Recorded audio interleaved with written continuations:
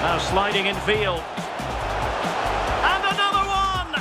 Two quick goals! Will it turn out to be the two-punch knockout?